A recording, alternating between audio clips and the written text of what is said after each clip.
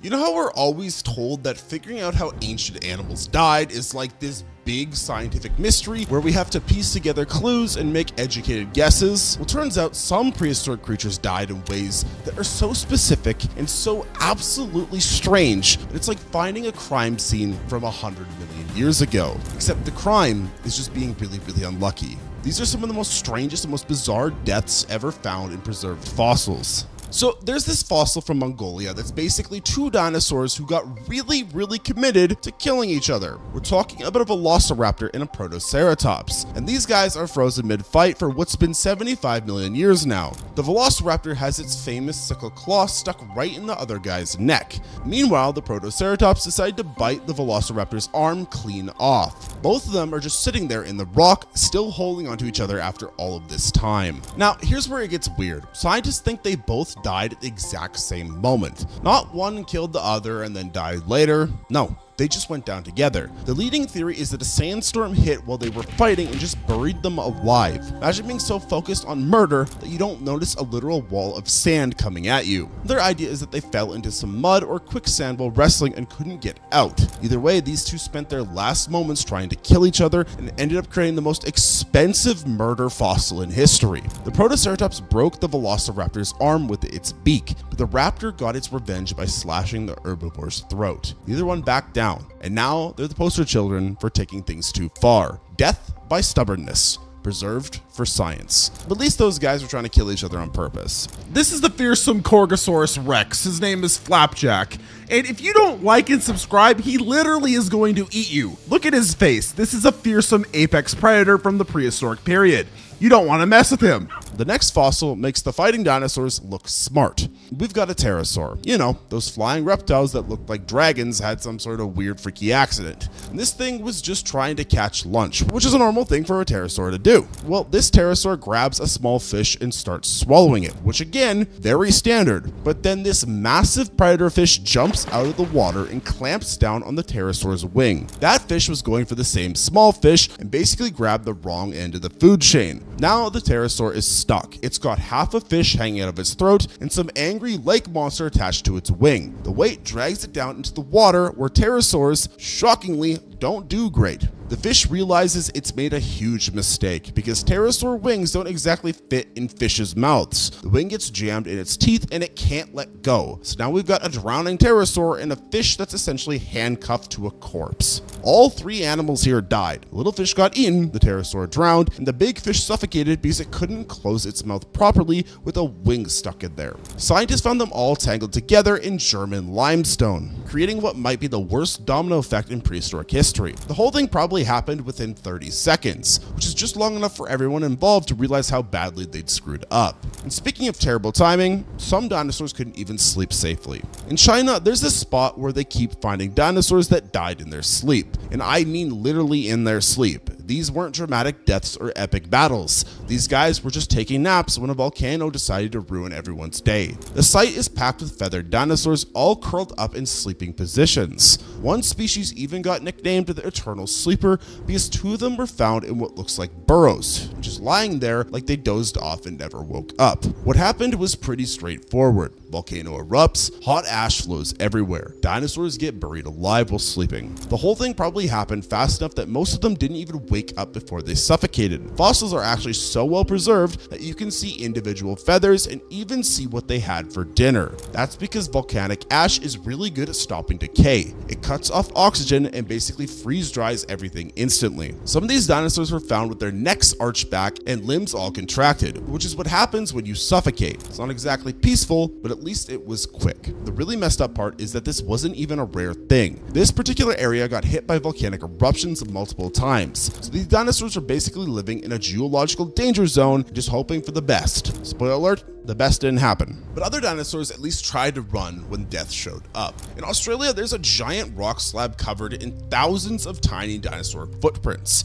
They tell the story of what might be the worst day the office in prehistoric history. Picture this a bunch of small dinosaurs are just hanging out by a lake, probably drinking water and minding their own business. Then something spooked them so badly that they all started running in the exact same direction at the exact same time. The footprints show everything. You can see where they were walking normally, then suddenly every single track changes to a full sprint. Some footprints are deeper where dinosaurs slipped in the mud, others overlap where someone got trampled. What scared them is still up for debate. Maybe a big predator showed up looking for lunch. Maybe there was a flash flood. Either way, these little guys went from zero to pure panic in about two seconds. The footprints are so chaotic that you can practically hear the screaming. Well, whatever sound small dinosaurs made when they were terrified, which is probably not screaming, but you get the idea. Here's the thing though, we only have the footprints. There are no bodies found, so either they all escaped or their bones got washed away by whatever killed them. The tracks just stop at the edge of the rock, so we'll never know if they made it out alive.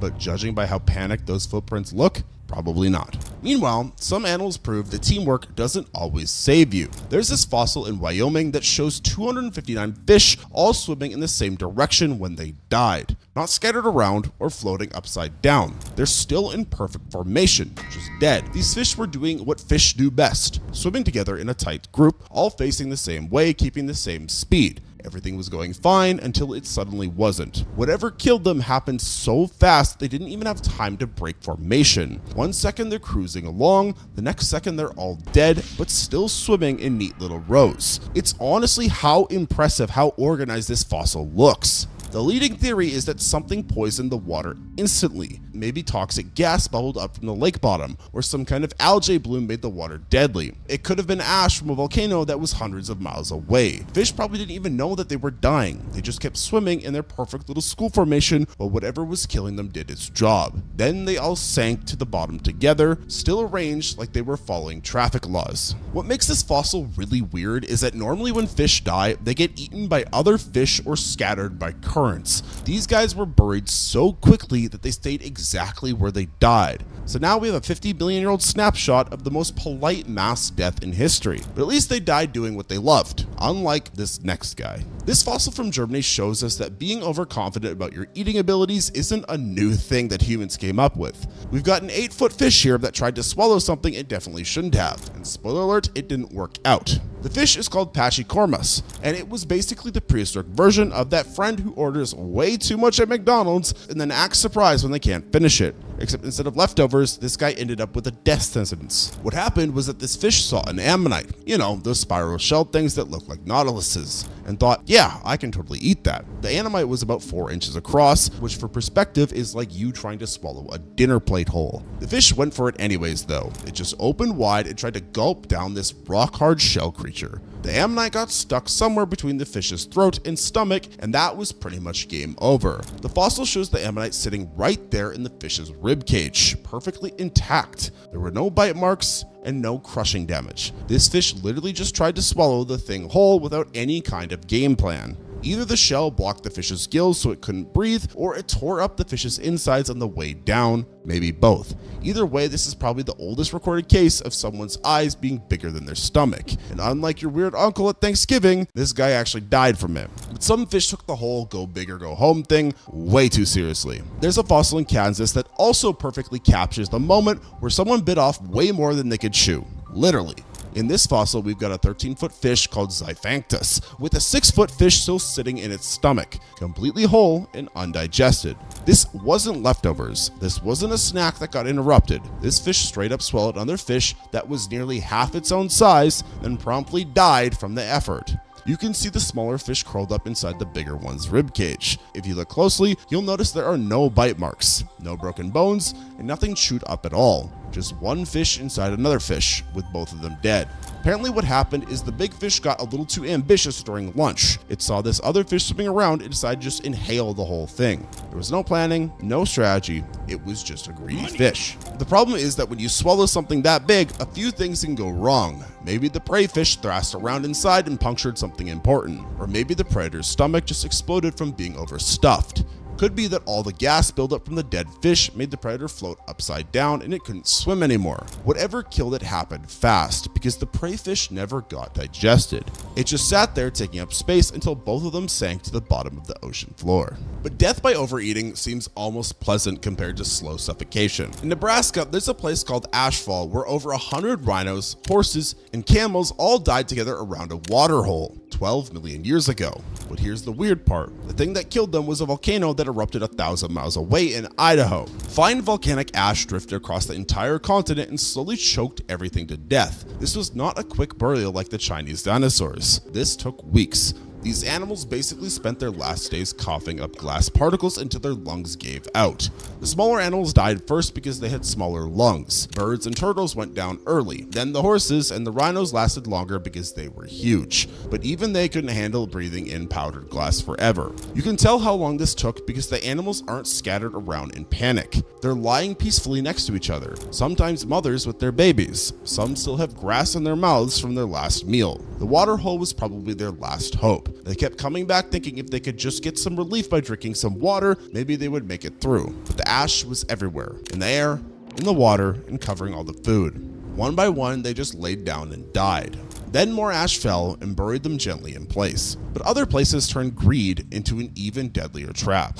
Los Angeles used to have these natural tar pits that worked better than any predator trap ever invented. Animals would wander into what looked like harmless water and get stuck in thick, gooey asphalt that bubbled up from underground. Here's where it gets really dumb. A mammoth or horse would get trapped and start making noise, and every carnivore within miles would hear easy prey calling for help and come running. Saber-toothed cats, dire wolves, lions, they'd all show up thinking it was their lucky day. Then they'd jump in to grab the struggling animal and immediately realize they'd made a huge mistake. Now you've got a mammoth, three saber-toothed cats, and a pack of wolves all stuck in the same tar pit, and none of them are able to move. But it doesn't stop there. The stuck predators would start howling and roaring, which would attract even more predators. And scavenging birds would land on what looked like free food and get their feet stuck too. The whole thing would turn into this nightmare pile of every dangerous animal in Ice Age California, all trapped together and slowly sinking into prehistoric quicksand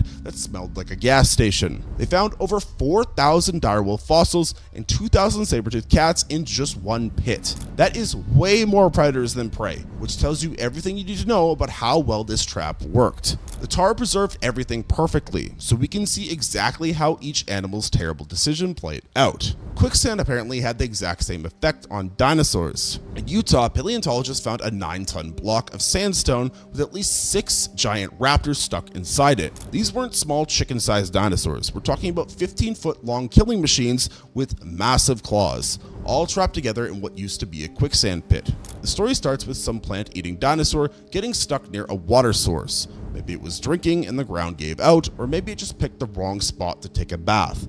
Either way, it's now trapped and making a lot of noise about it. Utahraptor number one hears dinner calling and comes charging in for an easy kill. Except the moment it steps into the wet sand, it starts sinking too. Now there are two animals stuck instead of one. So Utahraptor number two shows up and sees its buddy in trouble. Does it help? Nope. It tries to steal the prey and also gets stuck. And then raptor number 3 arrives, sees an even easier meal, and jumps right into the same trap. This keeps happening until you've got a whole pack of apex predators all slowly sinking into the same mud pit. Some of the fossils are found with their legs pointing straight up, which means they died standing upright in the muck. The really embarrassing part is that each raptor probably thought it was smarter than the last one, right up until the sand closed over their heads and they joined the world's stupidest death. But sometimes death came during life's most important moments like labor. A fossil from China shows us that having a bad day at the hospital isn't exactly a modern problem. We've got a mother ichthyosaur here, which are dolphin-shaped marine reptiles,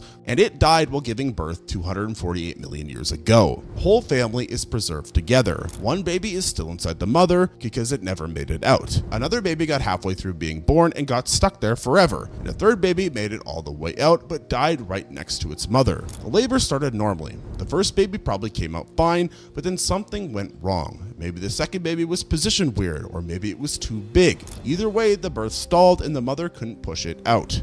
Without modern medicine, that was pretty much a death sentence in prehistoric times. The mother died from complications, and the stuck baby never had a chance. The newborn probably couldn't survive on its own. The fossil is still arranged exactly how they died. The mother's skeleton with one baby halfway out of her pelvis, and the other baby lying right beside her. It's been frozen that way for almost 250 million years. This was actually the first time scientists found proof that these marine reptiles gave birth to live babies instead of laying eggs. So this mother's terrible day ended up teaching us something important about how these animals lived and reproduced. Not that it helped her much, but at least she died surrounded by her family. Unlike these unlikely roommates, South Africa gave us one of the strangest fossil discoveries ever found. A carnivorous mammal like reptile and a wounded amphibian died cuddling in the same burrow. These two animals should have been trying to kill each other, not having sleepovers. The mammal thing, which is called Thrinaxodon, was hibernating in his burrow during a harsh dry season. It was just sleeping off the bad weather, waiting for things to get better. Meanwhile, this frog-like creature called Broomistega was having a really bad time. Its ribs were broken and healing, so it was hurt and probably couldn't hunt properly. The injured amphibian somehow found the sleeping mammal's burrow and crawled inside looking for shelter. And here's the weird part. The Thrinaxodon didn't kick it out or eat it. It just let this random wounded animal move in. Maybe the mammal was too deep in its hibernation coma to notice, or maybe it figured a half-dead amphibian isn't worth the energy to kill. It could be that desperate times call for desperate measures, and both animals were too worried about surviving to bother fighting each other. Then a flood hit their area and filled the burrow with mud, drowning them both while they were still underground together. They got buried side by side, with the mammal still curled up in its sleeping position and the amphibian lying on top of it. CT scans show no bite marks and no signs of violence. They apparently lived together peacefully until the end, creating the most unlikely friendship in the entire fossil record.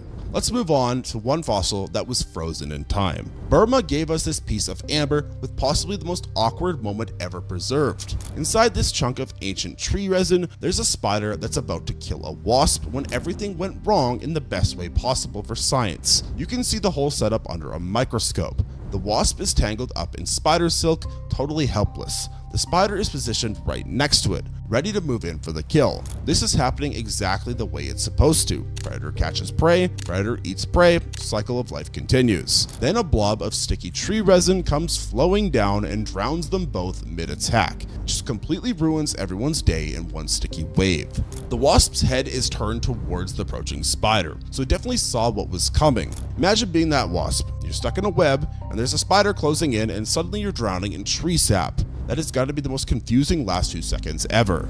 Even better, there's another male spider hanging out in that same web, which means we accidentally captured the earliest evidence of spiders sharing webs, something that usually doesn't happen in modern spiders. This whole fossil has been perfectly preserved for 100 billion years. Every strand of spider silk is still visible. The wasp's wings are still spread out. It is the ultimate freeze frame. But moving on, baby animals had their own special brand of terrible luck. Because India gave us a fossil that captures what might be the worst first day of life ever recorded. We've got a baby dinosaur that literally just hatched from its egg and immediately met a snake that was ready to eat it. The snake, Sanajeh, was about 11 feet long and had figured out that dinosaur nesting sites were basically prehistoric buffets. They've got fresh hatchlings that can't run fast, and they're the perfect size for swallowing whole. This particular snake hit the jackpot. Three dinosaur eggs in one nest, and at least one baby had just finished hatching when the snake showed up. You can see the broken eggshell, the baby dinosaur skeleton, and the snake coiled around the whole scene. The baby probably took its first breath, looked around at the big wild world, then immediately got grabbed by a snake. Talk about bad timing. The snake didn't even get to finish its meal though. While it was positioned to strike, or maybe already constricting the hatchling, something buried the whole scene instantly, which was probably a sand dune collapse or a riverbank caving in. But apparently some adult prehistoric animals made even dumber choices than newborns. Because giant ground sloths in Ecuador managed to accomplish something truly special. They poisoned themselves to death with their own poop. These elephant-sized animals found a waterhole during a dry season and decided it would make for the perfect bathroom. 22 sloths all started using the same water source as their personal toilet. They'd drink from it, poop in it, wallow around in it, and then drink from it again for months. As you can imagine, this turned the water into a bacterial nightmare. The sloths kept coming back because it was the only water around. But every sip was basically drinking liquid disease. The water got so contaminated that it started killing them. Some died from dysentery, others from straight poisoning. But here's the really dumb part. Even as their friends were dying all around them, the remaining sloths kept using the same toxic water hole. Eventually, a flood buried the whole disgusting scene, preserving all 22 sloths exactly where they died. The sediment around them is still packed with fossilized poop and chewed up plant material. The bone analysis shows that they were malnourished and vitamin deficient, which means they spent their last days slowly starving while drinking contaminated water. They had broken ribs and other injuries from fighting each other over access to the poison puddle. These sloths literally created their own death trap and then kept using it until it killed them. They killed themselves with poop. If you enjoyed watching this video, make sure to give it a like and subscribe to the channel for more content just like this. Feel free to give this video some hype points as well to help it get seen by more new people. And if you'd like to watch another one of my videos, you can click the video on screen now.